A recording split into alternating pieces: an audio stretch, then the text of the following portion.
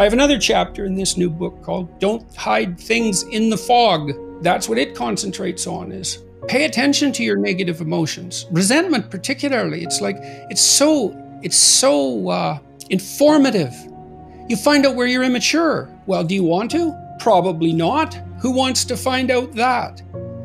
Or you'll find out who's oppressing you, and maybe then you can learn to stand up for yourself.